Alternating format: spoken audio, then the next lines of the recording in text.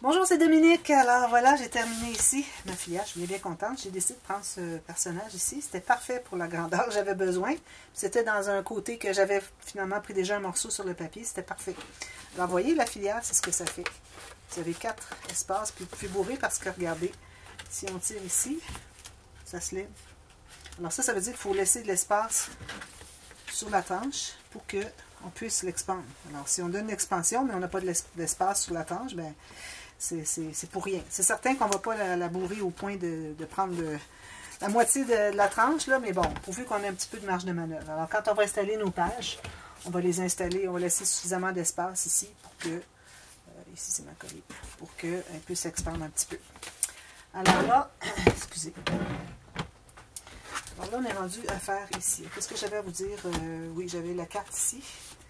Alors, la carte, j'ai mis je mets des décorations plus tard. Une perle ici vis-à-vis le, centre euh, euh, du, demi-cercle ici, j'aime bien. Puis euh, ici, ça donne ça comme papier, J'ai pris la largeur de mon papier, puis c'est ce que ça donnait comme largeur. Alors, vous voyez, quand on cherche pour aller porter la carte, alors si notre papier est trop épais, notre papier qu'on a utilisé pour faire les petites coulisses, on a la, la, difficulté à la trouver. Comme ça, ça va bien. J'ai toujours un petit quelque chose ici, je ne comprends pas. Voilà comme ceci. Et puis, qu'est-ce que je voulais dire d'autre? J'ai euh, maté le fond ici déjà. puis aussi, n'oubliez pas que euh, si vous décidez de faire la filière de côté, mettez un, papier design debout, comme ceci, et non comme ceci. Parce que là, vous allez avoir un dessin qui est à l'envers. J'aurais pas voulu voir euh, ce personnage-là de côté comme ça, certainement. Et puis, ici, ben, j'avais coupé un petit peu trop court, donc j'ai mis une petite bande, comme une petite incrustation, mais je mettrai des petites perles dessus pour donner une raison d'être. Puis, je ne l'ai pas collé complètement au bord ici parce que euh, si vous collez exactement sur le bord, quand vous arrivez pour plier comme ça, ça va, ça va arrêter ici. Vous ne pourrez pas faire, avoir plus d'aisance ici, plus de, marge de manœuvre pour plier votre couvert parce que toute l'épaisseur arrive ici, ça va buter. Alors, laissez-vous toujours, quand vous avez quelque chose d'épais, laissez-vous toujours euh, au moins 5-6 mm pour que euh, ça ne bute pas, finalement, sur, sur la tranche. Alors là, je vais faire la grande poche.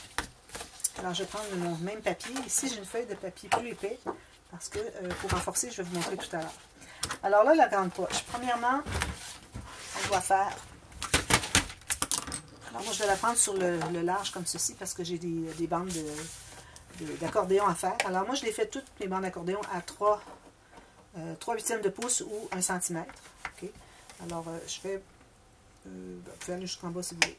Alors, habituellement, j'en fais trois. Mais là, cette fois-ci, j'ai décidé que j'en ferai cinq. Alors, ça va faire deux plis au lieu de un. Alors, j'en ai un, deux, trois, quatre, cinq. C'est important que ça soit toujours la même, la même euh, largeur. Toutes des 1 euh, cm ou 3 huitièmes de pouce.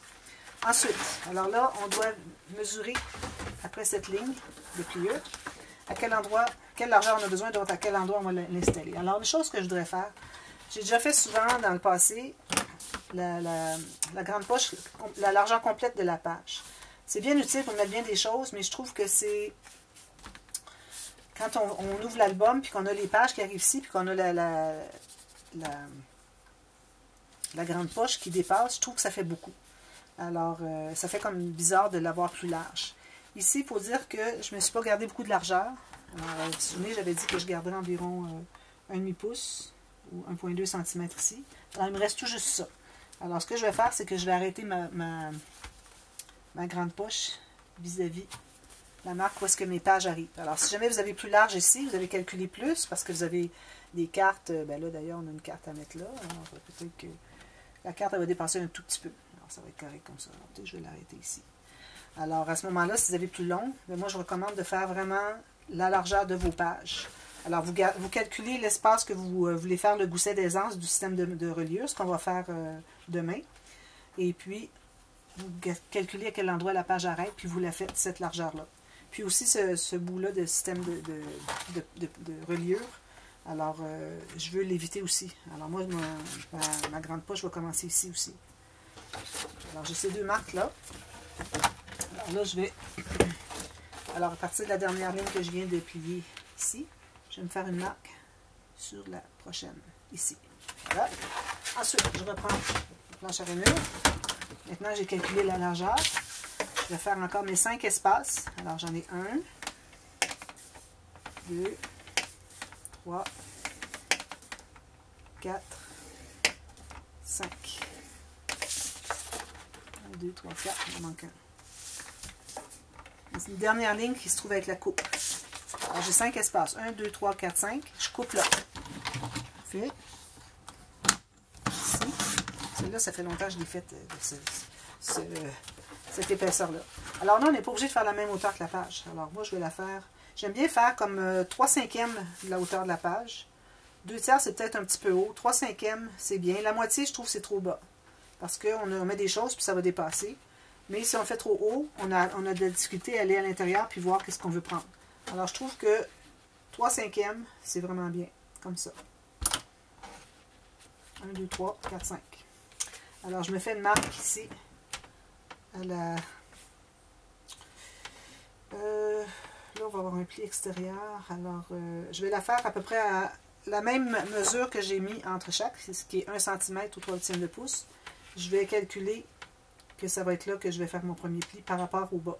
Parce que quand on, presse sur la, Vous allez voir à la fin, quand on presse sur la, grande poche, les plis qui sont en bas vont se trouver à, euh, à vouloir euh, plier et puis dépasser la page si on le met trop bas. Puis, si je le mets plus haut, ben là, je viens d'augmenter la hauteur que je ne voulais pas avoir si haut finalement. Alors, à 3 cinquièmes comme ça, moi, je calcule que je vais finir ma poche ici. Puis, quand elle va plier, parce qu'il y a un, centimètre, l'accordéon dans le bas aussi. Elle va arriver ici, ça va être parfait. Je vais avoir la hauteur que je veux. Alors, je vais faire une ligne de pliure ici, sur ma marque, jusqu'au bout. Ensuite, je fais deux, euh, espaces comme ça. Encore toujours le 3 huitièmes de pouce ou 1 cm. Puis, alors j'ai deux espaces ici. Le troisième, je garde toute la longueur. Parce que ça va faire que c'est plus facile à mettre à l'intérieur pour pas que rien bute à l'intérieur. Alors, si je récapitule, j'ai des espaces de 1 cm ou 3 huitièmes de pouce. Tous les espaces ont la même grandeur, le même format. Alors j'en ai 1, 2, 3, 4, 5. J'ai fait 5 lignes. Ensuite, j'ai fait la largeur qui correspond à la largeur de ma page. Puis ensuite, j'ai fait 6 lignes, mais la sixième, c'est pour la coupe. Donc on en a 5 qui va, qui va faire les, les, 4 espaces. Pour le cinquième, c'est là où est-ce qu'on va couper. Alors on coupe là. Ensuite, on tourne on mesure la hauteur qu'on veut avoir. On fait une ligne tout le long. Puis on garde un, deux espaces, puis un troisième. On n'en fait pas cinq, on n'en fait que trois. Un, deux et troisième qui est toute pleine longueur. Alors là, ce qu'on doit faire, c'est qu'on doit enlever tout ce qui est les petits carrés ici et toutes les grandes bandes ici de plis à partir de la première en haut. On arrête là. Alors, tout juste ces bandes-là. On garde tout le, le rectangle ici, toutes les bandes qu'il y a de chaque côté. On enlève tout ça.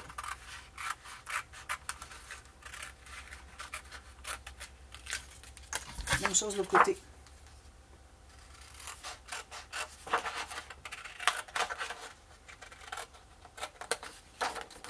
Ici, même chose. Puis, il faut vraiment couper. On ne veut pas garder la, ligne de pliure. Il faut vraiment aller tout enlever. Sinon, ça va dépasser. la ligne de pliure fait quand même 1 euh, mm ou un demi-millimètre de profondeur. Il faut l'enlever. Si je vais l'enlever aussi, comme ça. Voilà.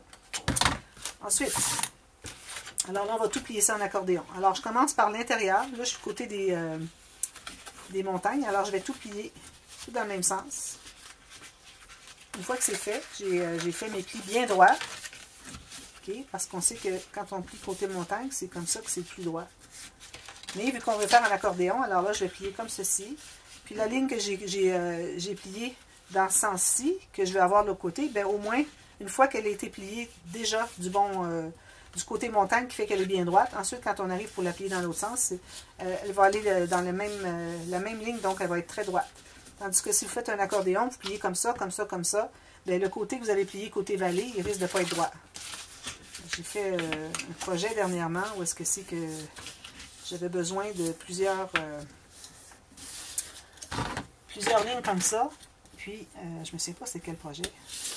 Puis euh, j'ai dû faire euh, les lignes toutes pliées dans le même sens en premier, puis ensuite on les plie en accordéon. Alors on a des accordéons comme ceci. Celui du bas, on plie tout simplement tout dans le même sens. définitivement. On ne va pas plier dans l'autre sens. Il ne faut pas d'accordéon en bas. Ensuite, alors là, pendant que c'est tout ouvert, on a accès. Alors, je recommande de doubler la page ici. Le, pas la page, le fond de... Le dessus, finalement, de la, la grande poche. Alors, tout, juste un petit peu plus petit pour que ça, ça s'insère bien que la surface que vous avez là. Excusez, je vais faire un petit peu de ménage ici parce que... Donc, je vais couper ce format. Parce que ce qui arrive, c'est que quand on a un accordéon comme ceci, il y a de la tension qui se fait. Alors, la tension se fait ici, mais il n'y en a pas ici, donc ça fait quelque chose comme ça. Alors, il faut renforcer ici à l'intérieur. Si vous avez, moi, je prends du papier 300 grammes pour faire le renforcement. C'est même possible j'en mette deux. Parce que tant qu'il va y avoir une, dépression qui va se faire ici, moi, j'aimerais pas. Alors, je, préfère tout de suite le, le doubler et tripler s'il le faut.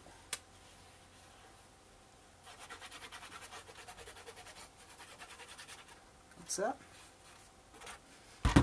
je vais le mettre tout juste à, peine un, demi-millimètre, juste pour pas qu'on la voit de l'autre côté. Puis, il faut que ça ne dépasse pas les côtés ici. Peut-être. Je vais tout presser ça. je vais aller voir qu'est-ce que ça donne. Alors, quand je vais avoir ça ici, vous voyez, je vais ici, comme ça. Ça va faire ici? Excusez. Voilà, les accordéons comme ça. Ça fait encore la dépression un peu. C'est certain que mon tant que mon, ma colle n'est pas séchée, ça va vouloir courber parce que c'est tendre. Mais je pense que je vais en mettre un deuxième. Quand même. même chose. Comme ça. Si jamais vous aviez décidé de faire un petit onglet, une petite dépression ici, il faut faire ça avant de mater avant de mettre les morceaux derrière parce que sinon, ça va devenir tellement épais que vous ne serez jamais capable de le, de le poinçonner.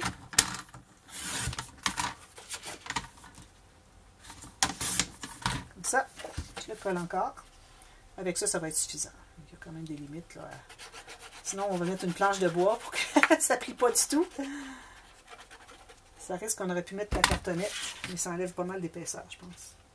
Alors, tout juste sur le bord de l'autre. Ça. Voilà. Alors ça, va bien sécher. Idéalement, vous devez le laisser sécher comme ça. Ne pas le toucher, que ça soit bien à plat. Pas qu'il forme une courbure, puis qu'ensuite on soit plus capable de, de le, mettre droit. Mais bon, pour la raison de la vidéo, ce que je vais faire, c'est que je vais, je vais continuer. Alors ici, moi, j'ai pris mes accordéons, comme ceci. Là, je mets de la colle sur la partie rectangle qui reste à la base. Alors ça, c'est le bas. On ne met pas de colle sur les goussets ici, sur l'accordéon, même si lui n'est pas accordéon. Puis, on va plier. Alors, on a trois plis ici. On plie celui du centre.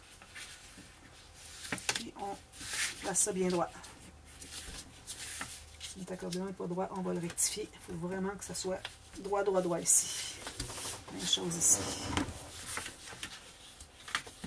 Comme ça. Que ça dépasse. Alors, vous voyez ce que je disais tout à l'heure. La hauteur de la, poche, de la, poche, moi, je voulais l'avoir comme ça, mais du fait que ça plie ici, c'est pour ça que j'ai mesuré plus haut. Parce que les choses vont aller jusqu'au fond ici quand même. Quand on l'expand, ça fait ça. Ça fait beaucoup plus joli avec un deuxième... Euh, au lieu d'avoir juste un V, on a deux V. Ça fait beaucoup plus joli aussi. Alors, c'est pour ça que j'ai fait comme ça. Je pense je vais la faire toujours comme ça. Euh, c'est ce que je faisais au tout début, euh, il y a 4 ans, quand j'ai commencé à faire des, des grandes poches. Et puis, euh, ensuite, ben, je les faisais tout le temps juste avec un pli. Je trouvais que ça prenait moins de papier tout ça, mais ça reste que, finalement, c'est peut-être plus joli avec deux plis. Mais ça ne s'expand pas plus pour autant parce que ça, c'est l'expansion maximale. C'est juste que vous allez avoir un, petit design de plus, euh, plus joli sur les côtés. Alors là, je mets de la colle sur les petites bandes ici, puis partout ici. C'est important d'en mettre jusque sur les coins. C'est important d'en mettre sur le bord ici. Parce que si, euh, ben là, quand on va arriver, vu qu'on l'a laissé haut comme ça, on va arriver pour mater. On va tout simplement embarquer par-dessus, donc il n'y a rien qui va buter. Si vous avez une petite bande ici, ben là, faites attention pour bien coller, bien mettre de la colle sur le côté, pour que ça soit bien collé à plat, pour pas que les choses arrivent à l'intérieur puis que ça bute. Alors, je vais, avec les marques que j'ai faites tout à l'heure pour le système de reliure, l'épaisseur, puis la, fin de ma page. Puis, je m'assure d'avoir, en l'écrasant comme ça, d'avoir la partie pliée qui reste à l'intérieur de la page. Alors, je ne voudrais pas l'avoir collée exactement où j'ai mis la colle, puis la, coller sur le côté, parce que quand on plie, ça va ressortir de l'album si ça marche. Ça ne fonctionne pas. Alors, euh, je plie tout ça. On va tout presser. Je vais presser à l'intérieur ici. Là, vous voyez, ça fait une belle, euh, bien solide en ayant mis euh, deux épaisseurs de, 300 grammes. Si vous avez du 250, euh, je pense qu'avec deux épaisseurs, vous allez être correct aussi. Et vraiment, prendre du papier plus épais. Ça fait tout ça. Ensuite, la couverture, pas la couverture, la partie qui va fermer dessus. je regarde dans mes chutes, j'ai rien d'assez grand. Peut-être lui. Oui, lui est assez grand. Alors ici, je voudrais croiser au moins 2 cm si je décide de mettre des aimants. Alors, euh, je vais me faire encore là euh, 3 portions de euh, 3 huitièmes de pouce ou 1 cm. La largeur la même que la, grande poche. Alors, c'est minime ce qui me reste là ici. Alors, j'aurais pas pu, ça n'aurait pas fonctionné si j'avais un papier plus étroit. Il aurait fallu prenne un autre morceau. Alors, je fais les mêmes, euh, les mêmes espaces ici. 1 cm ou 3 huitièmes de pouce trois fois. un petit peu plus loin. Comme ça. Puis, je vais arrondir les coins tout de suite.